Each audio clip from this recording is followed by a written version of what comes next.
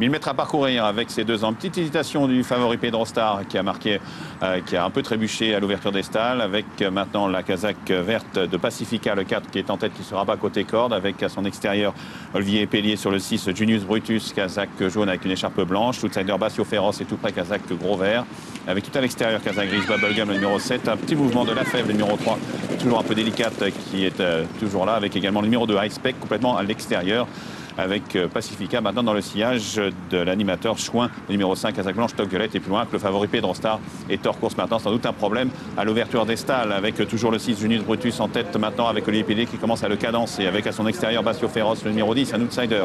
Du côté corde vient un peu plus loin le 4 Pacifica avec également un peu plus loin euh, Marlene Sky à l'extérieur le numéro 2 Spec qui est battu alors que le 6 Junius Brutus a la course à sa merci depuis longtemps. Le fils Cockney Rebel va s'imposer en toute décontraction. Deuxième place pour le 4 Pacifica.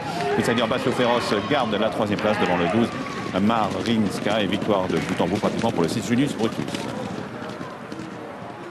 Arrivée euh, provisoire chiffrée 6, 4, 10 et 12 me semble-t-il, alors que le favori effectivement euh, passe euh, à cet instant le poteau d'arrivée en dernière position. Arrivée provisoire 6, 4, 10 et 12. La victoire pour Olivier Pellier qui met à l'honneur l'entraînement de Mathieu Palussière et la casaque de Madame Terena Marnan.